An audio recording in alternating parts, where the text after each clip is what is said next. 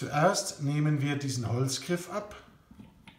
So kommen wir leichter an die später benötigten Schrauben. Es sind im Wesentlichen diese zwei, die wir öffnen müssen.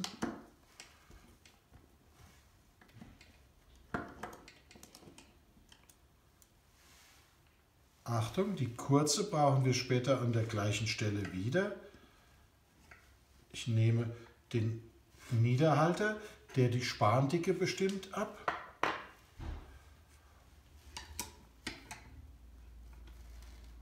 Und ich öffne die Schraube, die den Messerhalter und das Messer hält. Das ist unser Messer.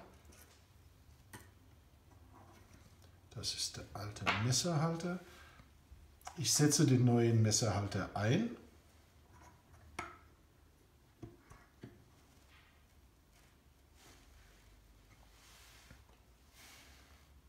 Das Messer hat drei Befestigungslöcher.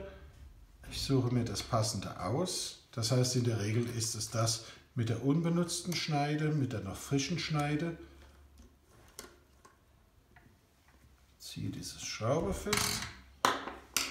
Jetzt bleibt uns noch der Niederhalter. Den setze ich so ein, dass zwischen der Messerspitze und diesem Niederhalter etwa 1,5 mm Distanz sind. Ich nehme die kleine Schraube und schraube dieses Teil fest.